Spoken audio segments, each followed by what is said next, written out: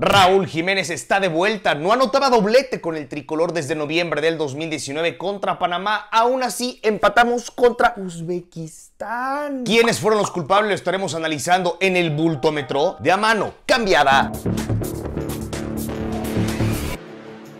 Cinco fueron los goles que recibió Guillermo Ochoa en los últimos dos partidos contra Australia y Uzbekistán contra los uzbecos. Peor aún, le tiraron tres veces a portería y las tres terminaron en gol. Evidentemente tiene que ser señalado como uno de los culpables, sobre todo por el tercer gol. Fue un tiro libre que iba donde él estaba, lo rechazó dentro de la portería, se lo comió, se lo tragó por completo. Y no podía ser en su poste. Ahí fue donde se lo anotaron. Considerando los últimos dos juegos, le dispararon seis veces a gol y le anotaron cinco veces para únicamente registrar una atajada en estos dos partidos. También en el primero contra Uzbekistán alcanza a meter la mano, pero no lo suficiente para poderla rechazar, por lo cual tenemos que señalar a Guillermo Ochoa como un bulto.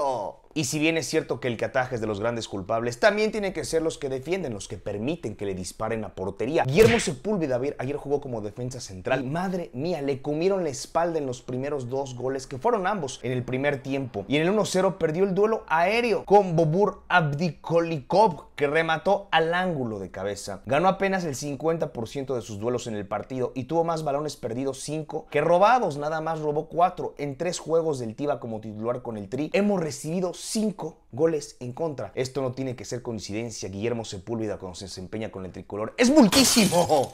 Ahora, también fueron empates, si bien es cierto que fueron contra selecciones a modo, empatamos, tampoco perdimos. Y gran responsable de que no hayamos perdido fue Raúl Jiménez, que anotó en ambos partidos amistosos contra Uzbekistán, además logró hacer un doblete. Y aunque Australia fue contra penal, contra los uzbecos ninguno fue desde los 11 pasos, lo que entonces rompe una racha de 5 goles seguidos que había anotado con el Tri que habían sido desde el punto penal. Tenía desde el 17 de noviembre del 2020 contra Japón sin anotar un gol que no fuera desde el manchón penal. También aprovechó un regalo para registrar su primer doblete con el Tri desde el 16 de noviembre del 2019 contra Panamá. Este es su cuarto doblete con la selección mexicana. Los otros fueron contra Bielorrusia, contra Cuba y contra Panamá, como ya lo mencionamos. Por lo que entonces a Raúl Jiménez vamos a ponerlo como muy comprometido.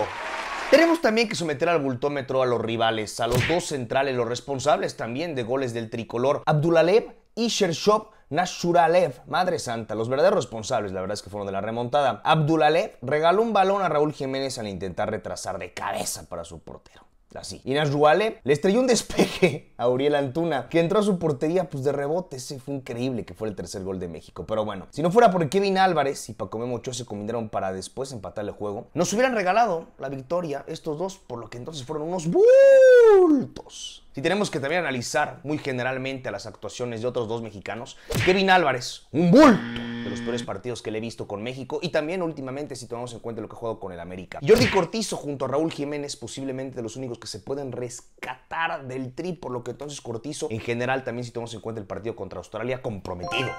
Ahora, el que hayamos empatado contra Uzbekistán y contra Australia también, evidentemente, tiene que pasar por el director técnico, Jaime Lozano. Uzbekistán venía de perder 3 a 0 contra Estados Unidos y 1 a 0 contra Irán. Dios mío. Y únicamente pudimos generar 5 tiros a portería contra los uzbecos en todo el partido. Tiene que haber alguna responsabilidad del director técnico contra Australia el haber empatado. Una selección a la cual le sacamos 15 posiciones en el ranking FIFA. A Uzbekistán le sacamos C 62. No pudo sacar victorias con rivales a modo. Volvió a arrancar el partido perdiendo y aunque volvió a reaccionar contra Uzbekistán, no pudo ganar en esta fecha FIFA. Todo estaba a modo para el Jimmy. En el partido de ayer solamente el Tri disparó dos veces a gol en los primeros 70 minutos y el planteamiento de Raúl con Charlie Rodríguez y Orbelín Pineda como volantes ofensivos no ayudó. Se estorban entre los tres sin que hubiera nadie dentro del área para fijar a los centrales. Sus cambios, sobre todo el de Chiquito Sánchez, ayudó y Uriel Antuna anotó, pero pues la verdad es que fueron errores de los uzbecos. Y la realidad es que empató el México porque no lograron mantener la ventaja. Ellos nos regalaron el empate prácticamente, permitieron que les empatáramos. No es que nosotros hayamos empatado como tal. Jimmy Lozano, a pesar de que lo bancamos y creemos